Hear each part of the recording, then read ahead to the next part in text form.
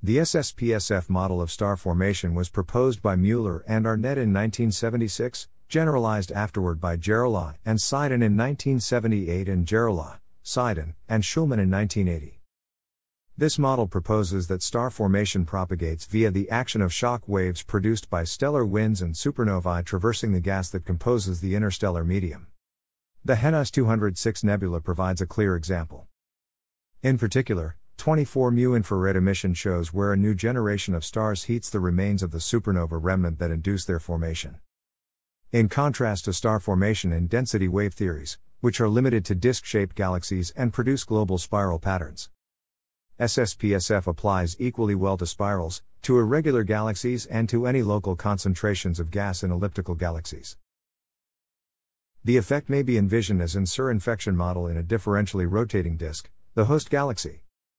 The SIR model is applied to star formation propagating through the galaxy. Each generation of stars in a neighborhood includes some massive ones whose stellar winds and soon supernovae produce shock waves in the gas.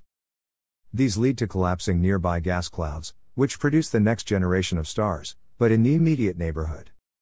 All initially available gas is used, so no further stars are born there for some period of time despite the shocks. SSPSF simulation in a non flattened galaxy, the infection would produce an outward propagating sphere. In a non rotating flattened environment, the infection would produce an outward propagating ring. But in a differentially rotating flattened environment, i.e., with mass closer to the galactic center orbiting the center somewhat more quickly, the ring is sheared into an ellipse, the innermost parts moving ahead of the ring's center and the outermost parts lagging. For disk galaxies, virtually all star formation occurs in the disk. In that case, the elongated rings are likewise confined to the disk, and collectively they evolve to appear as segments of spiral arms, CNGC 4414, as well as figures in. In 1999, the prevailing density wave model for the generation of spiral arms in galaxies was combined with SSPSF in a doctoral thesis by Auer.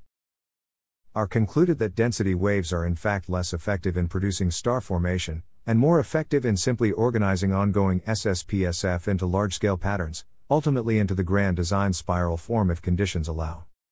In the figure, you can see a simulation of a simple model for SSPSF on a circular grid. It is generated by randomly starting star formation in certain boxes of the grid, which propagates to nearby boxes in the grid while time progresses. Star formation dies out with time, and a box has a certain regeneration time which prevents it from starting new star formation just after it was active.